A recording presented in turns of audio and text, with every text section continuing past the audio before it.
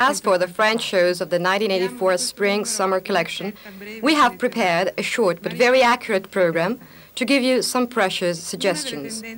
One of the most recurrent themes is the long dress.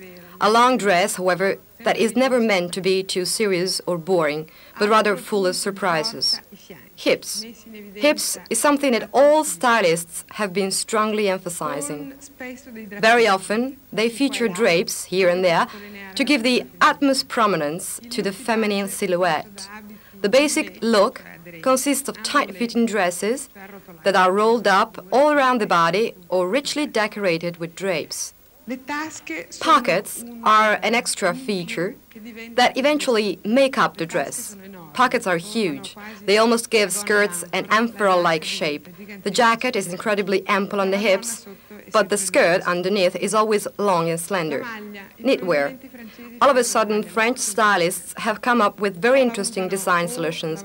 The knitting, however, is either almost invisible or ribbed, so as to give the silhouette a thin and slender appearance.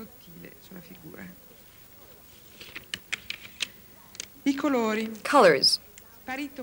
Black has almost disappeared and is now being replaced by blue, white, and a wide range of bright, exciting, and lively colors, from acid to richer hues.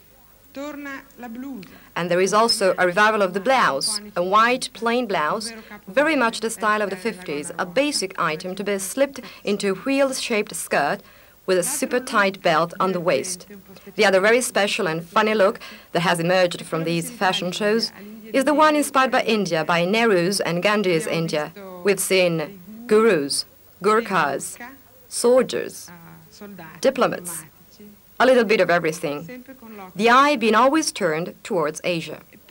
And then, invariably, the recurrent theme of the sailor, which couldn't possibly be missing in the French shows. A color of mix of white, red, and blue is always repeated, something nice and rich in original solutions. Finally, here is another nice and slightly crazy idea.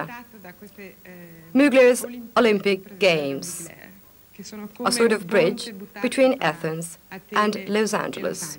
Olimpiadi 84, evidentemente, con queste donne forti, grandiose, che addirittura lanciano il giavellotto.